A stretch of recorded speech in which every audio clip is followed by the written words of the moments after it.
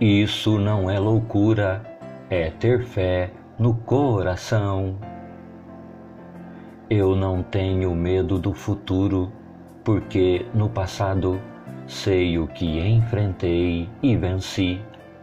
Deus, meu bondoso e amoroso Pai, além de sempre estar comigo, me fez uma linda e poderosa promessa: Jamais te deixarei e nem te desampararei, e se creres, verás a minha glória por toda a tua vida. Pode parecer estranho para muitas pessoas o que vou dizer agora, mas aprendi a me sentir bem com as dificuldades e adversidades quando elas do nada surgem em meu caminho. Sabes por que digo isto? Porque descobri que quando as encaro e as venço, cresço como pessoa e também como servo de Deus.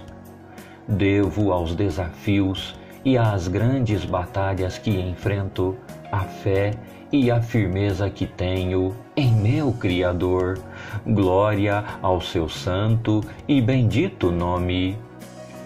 Aprendi que para vencer, em muitos e muitos casos, as escolhas mais fáceis são as que mais nos levam aos enganos, prendendo-nos em enormes e escuros alçapões, e que as escolhas aparentemente mais improváveis são a que nos escondem em iluminados pavilhões celestiais, nos libertam dos grilhões e nos conduzem a extraordinárias vitórias.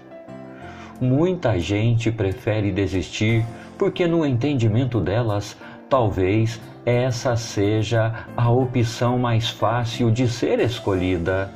Porém, eu e milhares de outras pessoas escolhemos dar passos e mais passos adiante, mesmo sabendo que há minas e armadilhas espalhadas para todo lado, colocando-nos em constantes perigos e riscos de sermos atingidos, feridos e até mortos.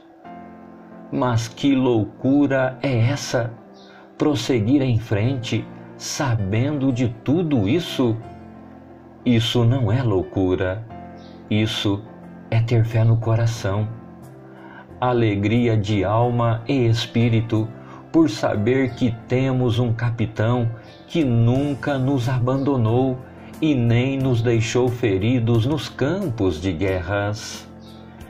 Isso é saber que é muito mais honroso cairmos lutando do que achar que vamos permanecer de pé se formos covardes e vivermos nos escondendo dos combates a vida toda. Isso é ter a certeza de que as mãos de Deus sempre estarão estendidas para os seus valentes na terra e que os lugares celestiais aos vencedores já estão reservados.